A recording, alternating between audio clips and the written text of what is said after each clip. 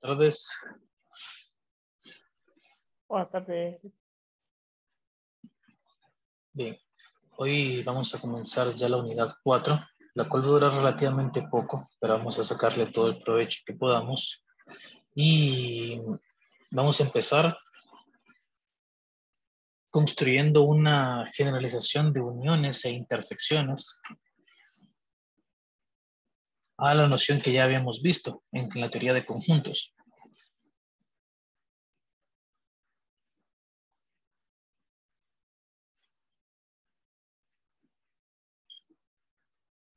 Entonces, básicamente lo que vamos a hacer es que vamos a generalizar la noción de unión de dos conjuntos y de intersección de dos conjuntos a la intersección de más conjuntos. Pueden ser tres como en este ejemplo, o pueden ser una cantidad finita llamada n de conjuntos, o puede ser una cantidad infinita, según, o enumerada según los números naturales, o puede ser, de hecho, cualquier tipo de enumeración.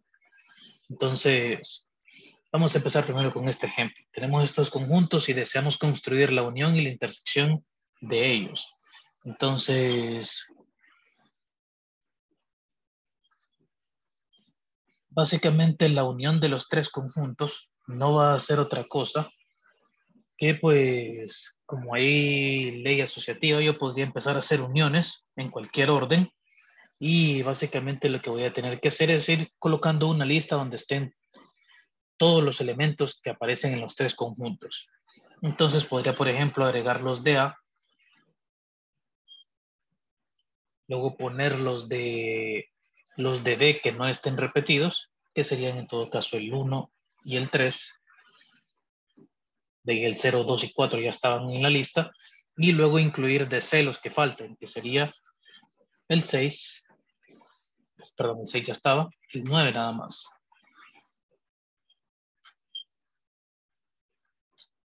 Entonces, básicamente, esta es una lista de elementos donde básicamente podemos decir que cualquier elemento que está aquí en esta unión, por ejemplo, el 1, pertenece a alguno de estos tres conjuntos. Inicialmente, si no tenemos los conjuntos, no podremos saber cuál, pero sí sabemos que pertenece a uno de los tres. Por otro lado, la intersección sería básicamente ver cuáles son los elementos que hay en común a los tres conjuntos. Y pues visualmente podemos llegar rápido a la conclusión de que únicamente es el cero. Solamente el cero está en los tres conjuntos. Entonces, eso sería la intersección. Ahora bien, resulta que cuando tenemos uniones e intersecciones de tres conjuntos o simplemente hay tres conjuntos en, eh, en juego, técnicamente podríamos visualizarlo como un diagrama de Venn.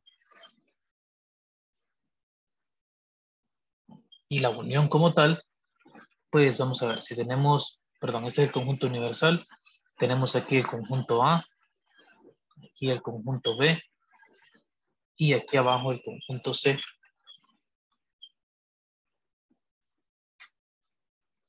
Y pues la unión sería todo. todo el espacio que ocupen los tres conjuntos.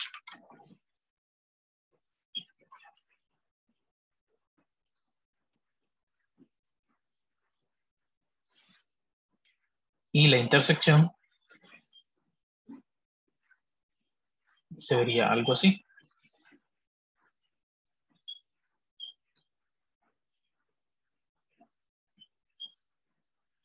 La intersección de los tres conjuntos sería el espacio que es común a los tres círculos, en este caso, que corresponden a los tres conjuntos, o sea, esta parte de aquí.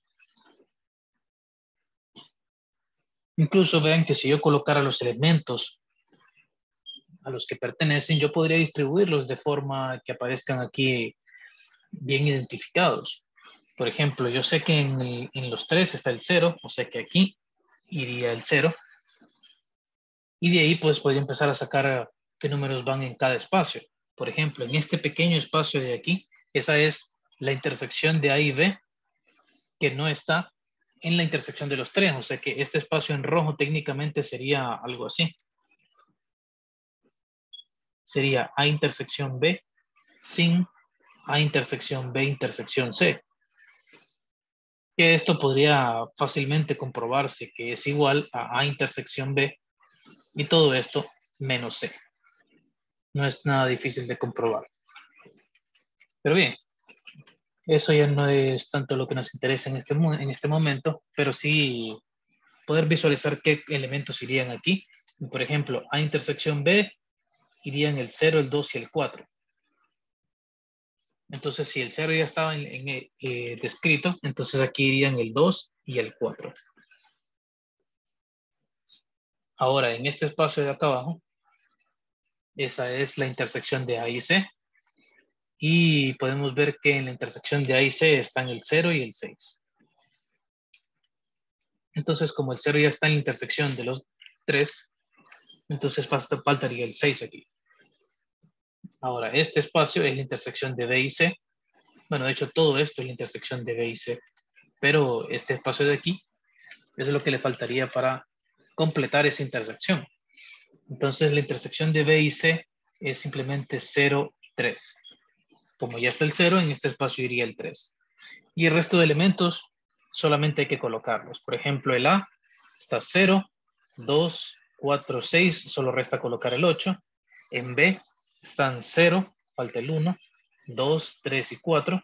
Y en C están 0, 3, 6, falta el 9.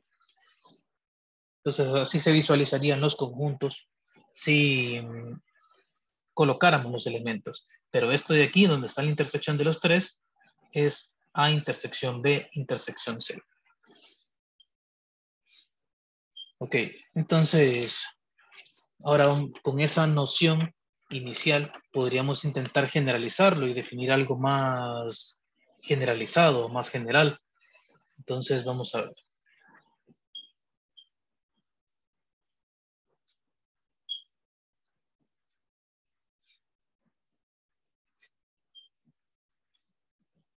Entonces, la unión de una colección de conjuntos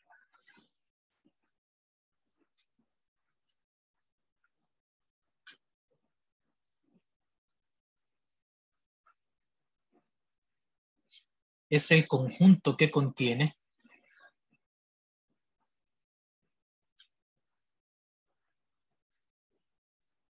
a todos aquellos elementos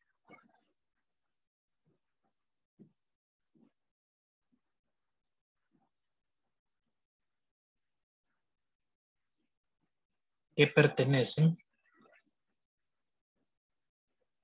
a al menos uno de los conjuntos.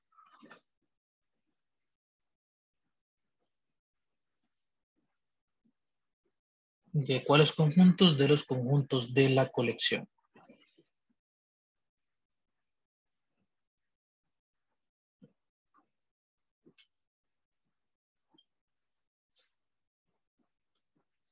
Entonces, esta definición como tal nos sirve para representar las siguientes situaciones.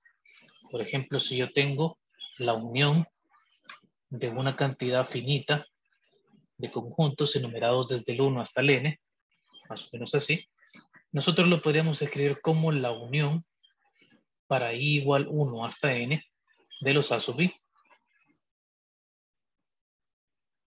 Reitero, este es el caso finito. Es decir, cuando hay una cantidad finita de conjuntos.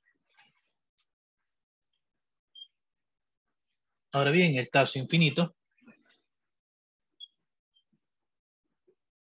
sería empezar a unir a sub 1, a sub 2 y puntos suspensivos. No llegamos hasta algún lugar porque hay infinitos, pero esto sería la unión desde igual 1 hasta infinito de a sub i.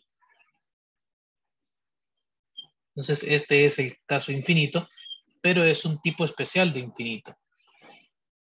En esta clase no vamos a entrar en detalle de a qué llamamos exactamente de esta forma, pero este es el caso infinito contable. Pero en resumen, todo lo que se pueda contar utilizando los números naturales o los números enteros, incluso los números racionales, pero centrémonos solo en los primeros dos, todo lo que se pueda contar con los naturales o con los enteros es contable.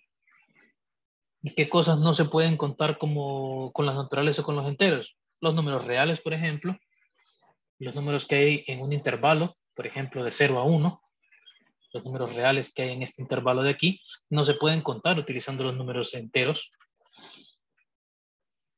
Entonces, básicamente, esos son ejemplos de conjunto o caso, o mejor dicho, donde no tenemos una cantidad contable de elementos. Pero cuando sí tenemos una cantidad contable, como en el caso que quiero ilustrar, tenemos infinito contable.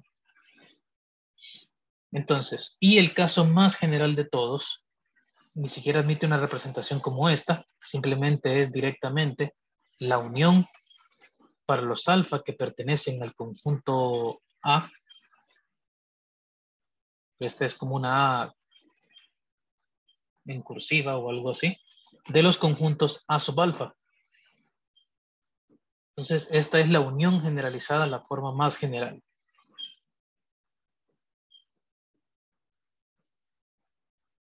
Entonces estamos diciendo aquí que hay ciertos conjuntos que la forma de identificarlos no es a través de un número entero, sino que a través de un valor alfa. Y este alfa pertenece a un conjunto, donde este conjunto es llamado conjunto de índices.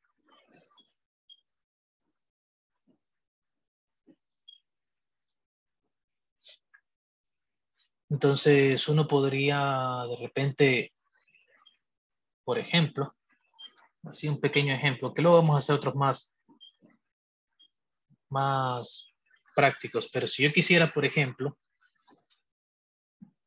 mmm,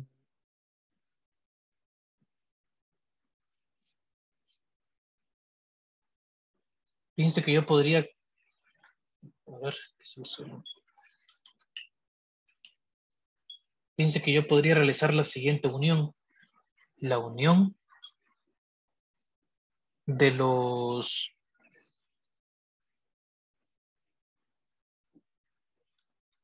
de los B que pertenecen al conjunto potencia de A y voy a unir todos los B. O sea que básicamente aquí lo que estoy haciendo es colocar todos los subconjuntos de A, o sea, los elementos del conjunto potencia, y estoy haciendo la unión de sus elementos. O sea que básicamente lo que obtendría aquí esa Y se los pongo o, les ilustro esta pequeña, eh, esta pequeña situación de aquí con un ejemplo bien básico. Si A es el conjunto de A y B, entonces el conjunto potencia de A consiste de cuatro elementos. El conjunto vacío, el conjunto que tiene por elemento A, el conjunto que tiene por elemento B y el conjunto A, que también lo podemos visualizar de esta forma para fines operacionales. Entonces, este es el conjunto potencia. ¿Y qué significa esta unión? La unión de los B que pertenecen al conjunto potencia de A y estoy uniendo los B. Esto sería básicamente la unión del vacío con la unión de este conjunto, unión con este conjunto, unión con este conjunto. O sea que la forma de recorrer o la forma de saber qué estoy uniendo consiste en recorrer este conjunto de aquí. Hoy en día eh, hay estrategias o métodos o lenguajes de programación incluso en los cuales nos permiten hacer iteraciones a, a través de los elementos de un conjunto. Y si yo quisiera, por ejemplo, si los elementos de ese conjunto son otros conjuntos, yo podría realizar la operación de unión simplemente recorriendo los elementos de este conjunto que le estoy dando acá abajo. Entonces, esa sería una ilustración de, esta, de este pequeño ejemplo de esta unión más general. Y al final de cuentas, si hacemos esta unión, nos podemos dar cuenta que es igual al conjunto que tiene por elementos A, B, y ese es el conjunto A. Entonces, Aquí les puedo ilustrar nada más como un pequeño ejemplo que esta igualdad es, verdadera. No es una demostración en sí, solo es una ilustración. Solo estoy mostrando que un caso en el que se cumplen de los infinitos que hay para los cuales se cumplen. Pero bien, entonces tenemos esto. Principalmente en esta clase solo nos va a interesar hacer uniones como los primeros dos tipos, Sin embargo, ya en clases más avanzadas, por ejemplo, de matemática como en topología, ahí sí se necesita utilizar más este tipo de concepto, más general. Entonces, por eso solamente se los muestro y les platico sobre él. Ahora voy a, vamos a definir una situación parecida, pero para la intersección.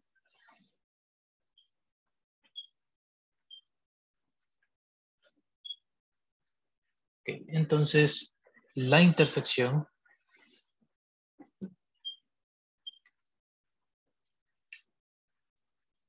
de una colección de conjuntos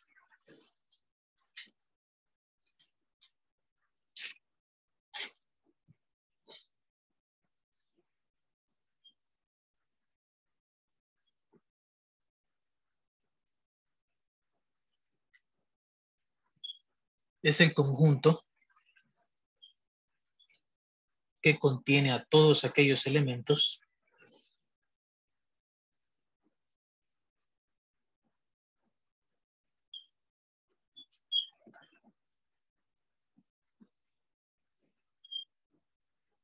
que están en todos los conjuntos.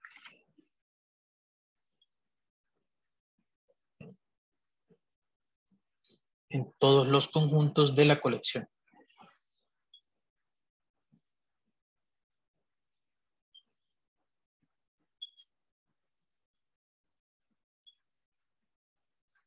Y de nuevo, esto sirve para representar las mismas tres situaciones de arriba, pero para intersección.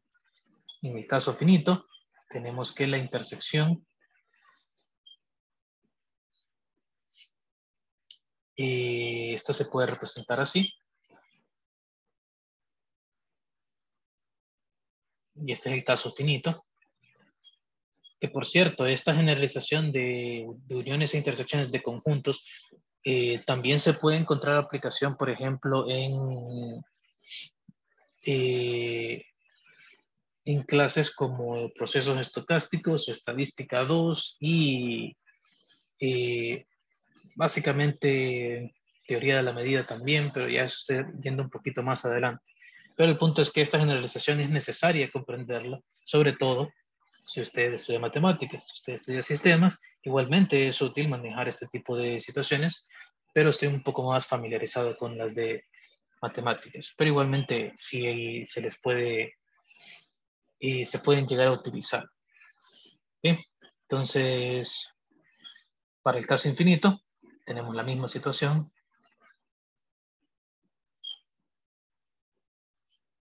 En la intersección de igual 1 hasta infinito de los A sub i. Y este es el caso infinito contable.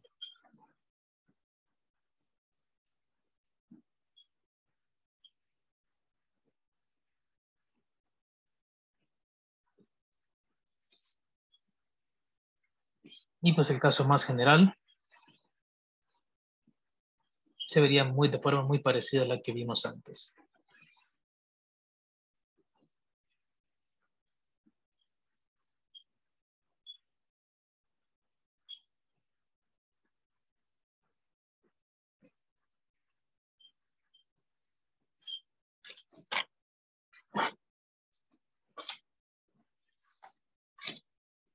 Bien, entonces eh, vamos a ilustrar ahora un, eh,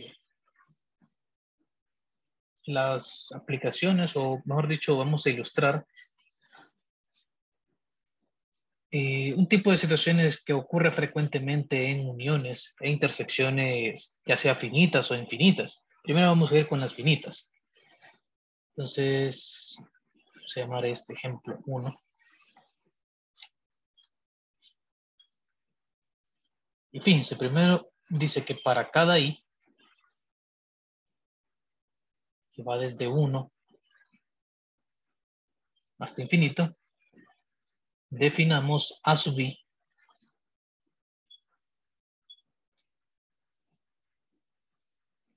como el conjunto que va desde i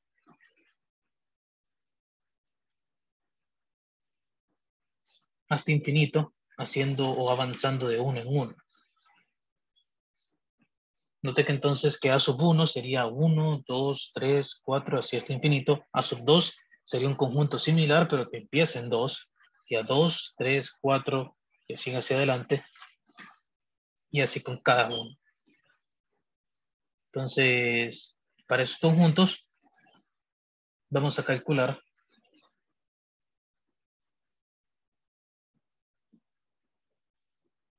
la unión desde igual 1 hasta un número n. Y también vamos a determinar la intersección desde igual 1 hasta un cierto número n.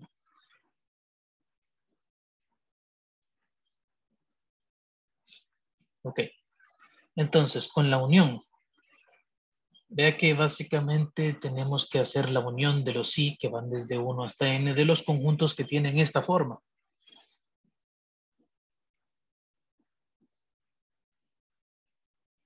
Entonces aquí tenemos que practicar un poco nuestra perspectiva, porque tenemos que ser capaces de visualizar cómo se ven estos conjuntos para poder hacer esta, eh, esta unión. porque fíjense bien, los conjuntos como tal empiezan en el número i y de ahí siguen su paso de uno en uno hasta infinito. Ok, entonces realmente el la sub 1 empezaría en 1 y iría luego 2, 3, así hasta infinito.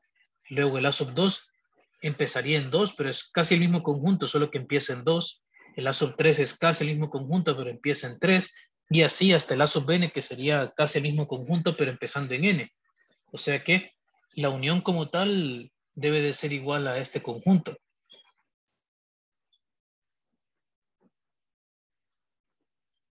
hasta infinito. ¿Por qué?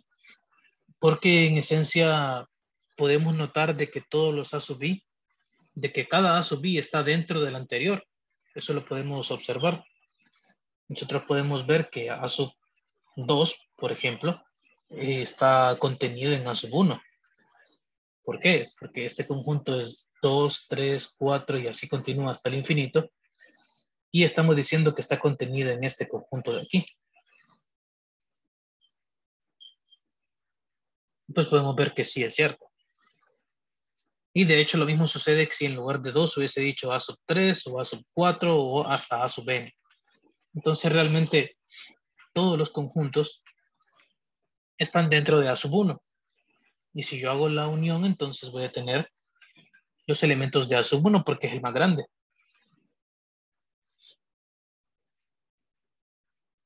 Entonces, como les digo, aquí es más o menos tener una perspectiva de cómo se ven los conjuntos para saber cómo hacer la unión o la intersección. Porque ahora fijémonos que la intersección sigue un proceso de análisis similar.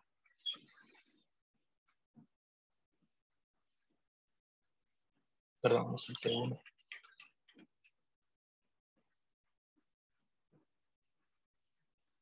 Entonces ahora lo que tenemos que ver es qué hay en común. Entonces, Fíjense que cuando tenemos esta inclusión de aquí, que A sub 2 está contenida en un A sub 1, lo que está en común es el conjunto más pequeño en sí. Y lo que, lo que queremos son elementos que estén en todos los conjuntos. Entonces empecemos a revisar. Por ejemplo, el 4. El 4 pertenece a sub 1, ¿sí? 4 pertenece a sub 2, 4 pertenece a sub 3. 4 también pertenece a sub 4. Podríamos decir que el 4 está en todo por esas primeras nociones, pero si damos un paso más allá, 4 resulta que no pertenece a sub 5, porque la sub 5 empezaría en 5. Entonces, aquí en general, si llegamos hasta un cierto número n, el 4 no pertenecería a a sub n, a menos que n fuese 4 pero es solamente una, una eh, situación particular. En sí no buscamos el valor de n en ningún momento. Entonces, ok, lo que podemos ir viendo es que el número 4 dejó de estar en el A sub 5. Asimismo, el número 1 dejó de estar en los conjuntos a partir del A sub 2. porque vea que también el 4 no va a estar en A sub 6 ni en ninguno que sea con un índice más grande. Entonces nosotros de momento podríamos solamente llegar a concluir de que el número K no va a pertenecer a A sub K más 1, ni ninguno que sea con un índice más grande. Ok, entonces básicamente esto lo que me hace es descartar todos los números desde el 1 hasta el n menos 1. Por lo tanto, esta intersección de aquí debe de ser n, n más 1, n más 2 y así hasta infinito. Nos quedamos con la idea, porque esta es básicamente darse cuenta de esto es la clave. Porque el 1 no puede estar porque en A sub 2 se sale, el 2 no puede estar porque en A sub 3 se sale, pero y resulta que el, A sub, el n menos 1 no puede estar en la intersección porque en A sub n se sale. Pero como llegamos o terminamos hasta el índice n, el n no se sale de, ningún conjunto. Porque se saldría del A n más 1, pero la, intersección es hasta, era hasta el número n. Entonces realmente no se saldría si nos detenemos en el número n. Así que este debe de ser el conjunto de la intersección. Entonces, de nuevo, aquí hay que hacer bastante énfasis en comprender cómo se comportan los conjuntos. Entonces aquí no es tanto de saber hacer unión o de saber hacer intersección, es de comprender los conjuntos en sí. Bien, ahora vamos a un ejemplo 2 en el cual vamos a hacer una situación parecida, pero en el caso infinito. Pero vamos a cambiar los conjuntos para variar un poco. Suponga que A a sub b es igual al conjunto 1, 2, 3, así hasta el número i. Para i igual 1, 2, 3, así hasta infinito. O sea que una vez fijado el número i, se construye este conjunto a sub i. Entonces, eh, determine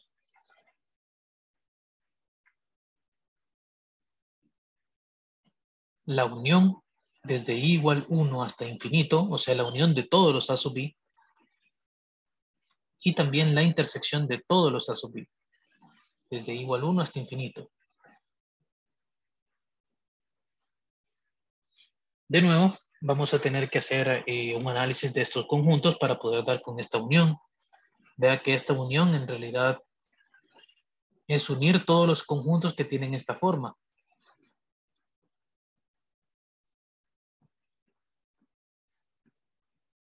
Y lo que podemos darnos cuenta aquí es que básicamente cada A sub B es igual al conjunto anterior, pero agregándole un nuevo término. O sea que para poder dar esta igualdad es importante darnos cuenta que A sub I es igual a A sub I menos 1, pero añadiéndole el I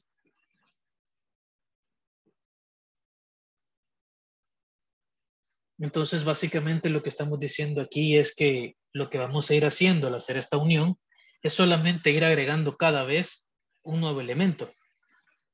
Porque en el A sub 1 yo tendría el común. Esa es otra cosa. El A sub 1 empezaría en 1 y terminaría en 1, o sea que solo hay un elemento. De ahí, ¿cómo, cómo hago la unión con A sub 2? Bueno, solamente le agrego el número 2 de ahí le agrego el número 3 para cuando i valga 3, de ahí le agrego el 4 cuando i valga 4 y así. Entonces, como i recorre desde i igual 1 hasta infinito, básicamente vamos a ir metiendo toda la infinidad de números enteros positivos hasta que estén todos. O sea que esta unión de aquí son todos los enteros positivos. ¿Sí? Entonces, ahí estaría. Y ahora, interesante también es ver la intersección en este caso.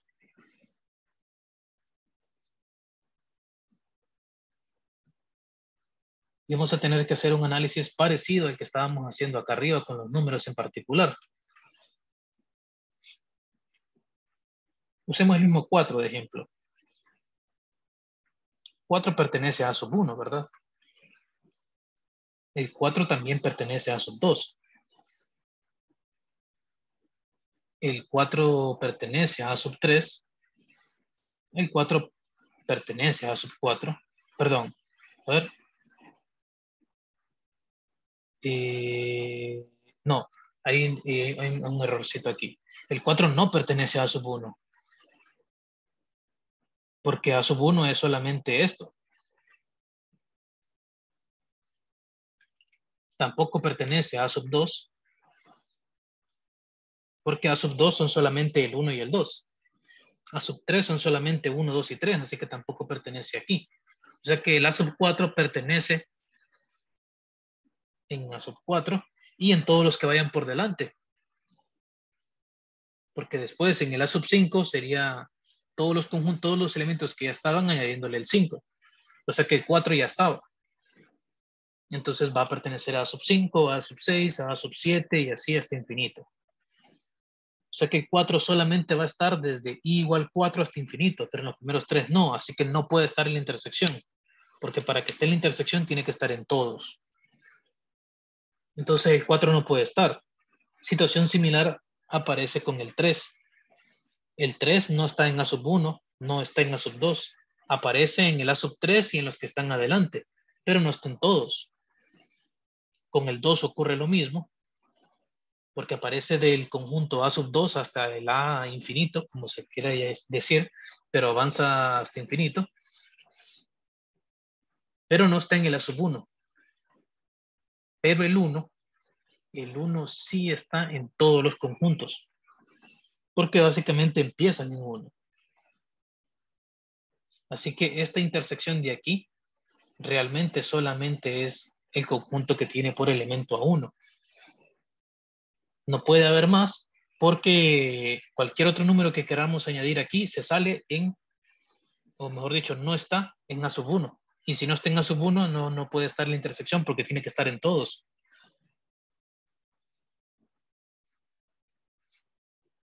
Y de hecho, este conjunto de aquí es exactamente A sub 1. Eso es mera casualidad. No siempre es igual al primero. O sea, no siempre ocurre que la intersección de todo esto es igual al primero. Eso es mera casualidad. ¿Ok? Entonces, solo para comentar.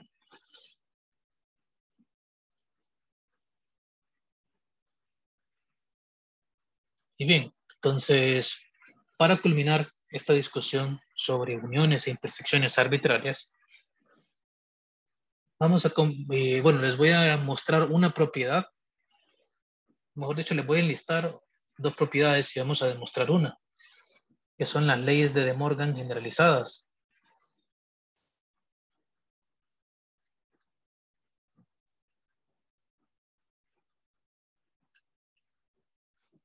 Pero antes de eso necesito decirles una cosa, porque si no, entonces esto va a verse un poco, poco entendible. Entonces déjenme bajar esto aquí. Aquí. Entonces, primero, ¿qué significa que X pertenezca a una unión?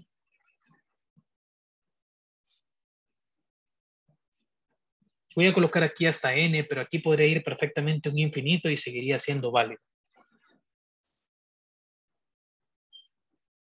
¿Qué significa esto? Bueno, esto es equivalente a decir que X pertenece a A sub B para algún y que va desde 1 hasta n. Si fuese infinito, iría desde 1 hasta infinito. Pero igual, eso es lo que significa. Que X pertenece a sub B para alguno. Ahora, ¿qué significa que X pertenezca a la intersección? Pues significa que X pertenece a A sub B para todos. Para todo Y.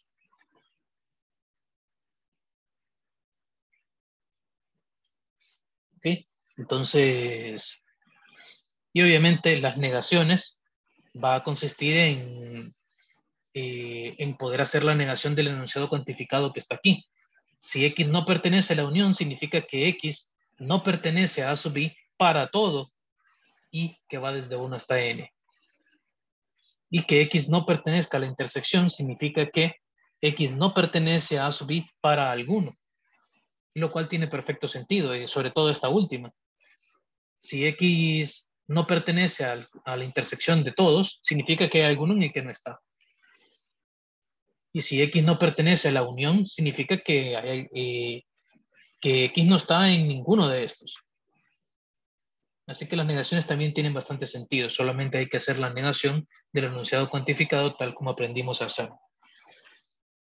Bien, entonces, las leyes de De Morgan generalizadas. Primero, tenemos que una unión, que de nuevo aquí la voy a poner hasta n, pero podría ser perfectamente hasta infinito y seguiría siendo válida. El complemento de la unión generalizada es igual a la intersección generalizada de los complementos. Y la segunda ley de De Morgan es que la el complemento de la intersección generalizada es igual a la unión de los complementos.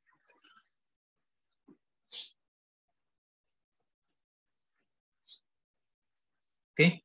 Entonces, vamos a comprobar la, primera, porque la otra es más o menos una, una mímica realmente sería hacer básicamente lo mismo. Y esta demostración la hago solo para que veamos cómo poder hacer una demostración que involucre este tipo de conjuntos. Entonces vamos a demostrar uno. Es una igualdad de conjuntos, entonces tenemos, eh, podemos proceder a hacerla mediante la comprobación de las dos inclusiones o podríamos hacer un análisis directamente de los de los conjuntos. Entonces, vamos a ver.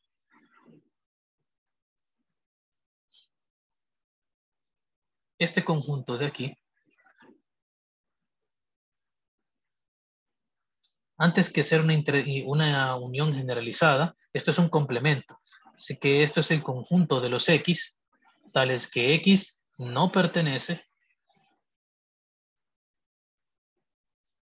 a este conjunto, sea el que sea que sea. O sea, sea como se escriba, esto es igual eh, a los X, tales que X no pertenece ahí. ¿Y qué significa que no pertenezca ahí? Bueno, por lo que dijimos arriba. Bueno, podríamos describirlo así. Esto, es, esto sería igual al conjunto de los X, tales que tenemos la negación de que X pertenezca a la unión. Y eso significa la negación de que X pertenezca a A sub B para algún igual 1, 2 y así hasta n.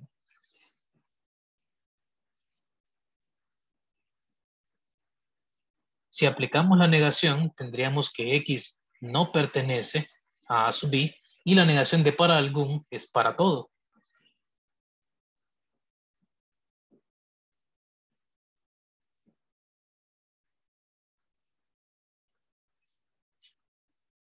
Y, aquí nosotros podemos establecer una igualdad porque el hecho de que X no pertenezca a A sub B, por definición de complemento, esto es igual a, o esto es lo mismo que decir que X pertenece al complemento de A sub B. Para todo I igual 1, 2, hasta N. Y si esto es el conjunto de los X que pertenecen a cierto conjunto, y el conjunto está con un índice que va de 1 hasta cierta o que tiene ciertos valores para el índice, pero el X pertenece en todos, significa que esto es una intersección generalizada. Para y que recorre estos valores de aquí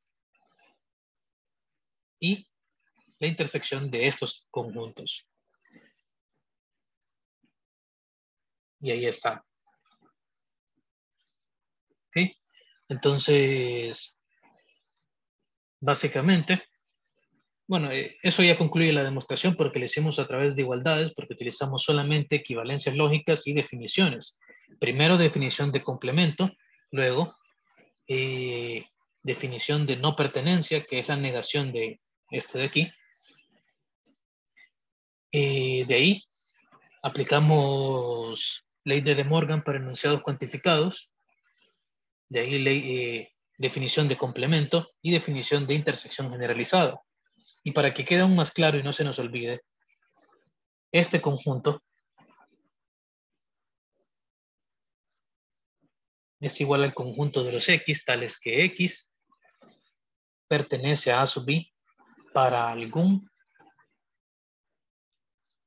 igual 1, 2, así hasta n. Y la intersección es el conjunto de los X, tales que X pertenece a A sub B para todo.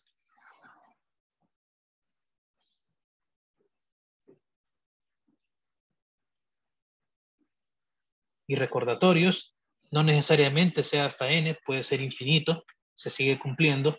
De hecho, ni siquiera tiene que ser así desde i igual 1 hasta algo. Podría ser general, general, así como dijimos al principio, con esta expresión, y se sigue cumpliendo la ley de Morgan generalizada. Entonces ya lo tenemos. ¿Ok?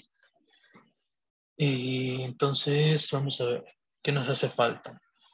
Mm, bueno, solamente decirles que si, por ejemplo, no tuviésemos aquí un A sub sino que tuviésemos algo como esto,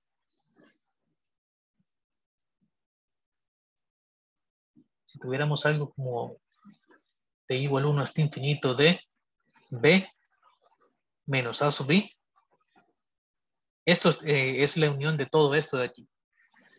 Incluso ahí es recomendable colocar paréntesis para que no nos confundamos. Entonces, esto de aquí que es, es el conjunto de los X, tales que X pertenece a B menos A sub B para algún y que va desde 1 hasta infinito. Y si se les pidiese demostrar cualquier tipo de cosa con esto, ¿dónde trabajan? Lo trabajan aquí, ¿ve? Porque ustedes ya manejan en este momento que es que X pertenezca a una diferencia. Eso es que X pertenece a B. O sea, esto sería igual al conjunto de los X, tales que X pertenece a B y X no pertenece B para algún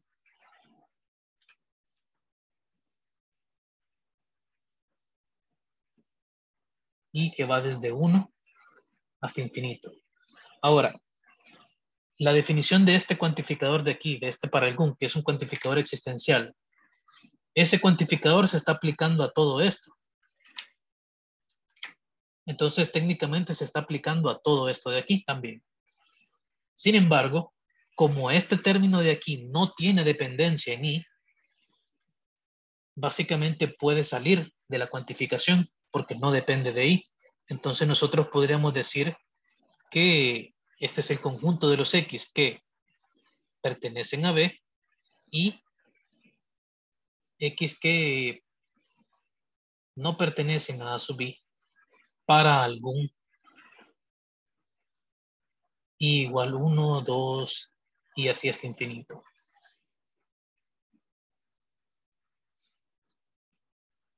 Y bueno, siguiendo la línea, si X pertenece a B y mm, X pertenece al complemento de A sub para algún i igual 1 hasta, hasta infinito. Entonces, ¿qué podemos decir? Podemos decir que Fíjese bien, X pertenece a B y X pertenece a esto de aquí. Entonces aquí hay dos nociones que interpretar. Primero, X pertenece a una intersección de dos cosas, porque hay una Y aquí. El primer conjunto debe de ser B y el segundo debe de ser el conjunto que cumpla esto. ¿Y qué conjunto cumple eso?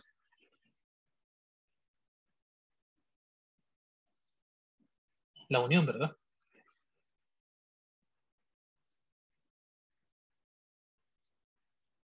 Entonces, B intersección con la unión de igual 1 hasta infinito de A sub B complemento.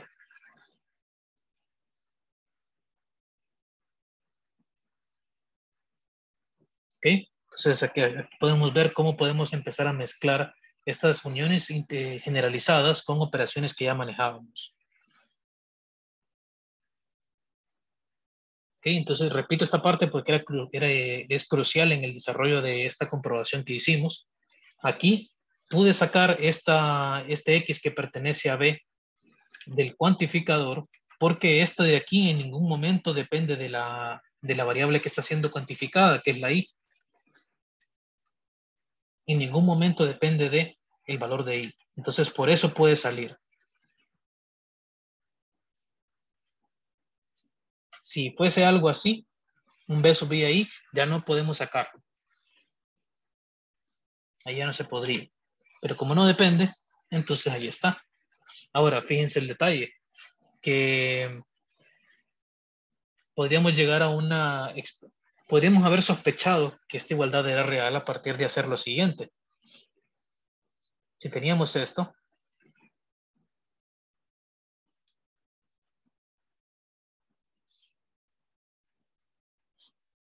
esto es la unión generalizada desde igual 1 hasta infinito de B intersección A sub I complemento.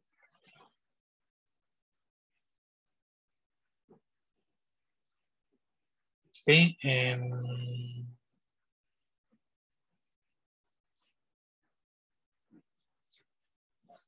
entonces, podríamos perfectamente decir que como esta parte de aquí no depende de la I, podríamos decir como que podría salir de esa operación de unión.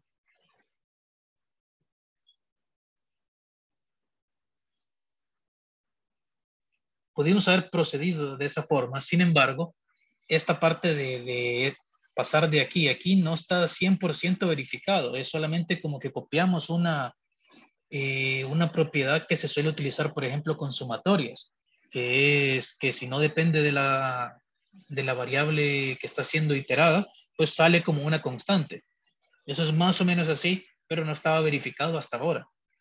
Entonces, pudimos haber utilizado esto como una noción intuitiva para saber de que a lo mejor esto era igual a esto, pero aquí está la comprobación.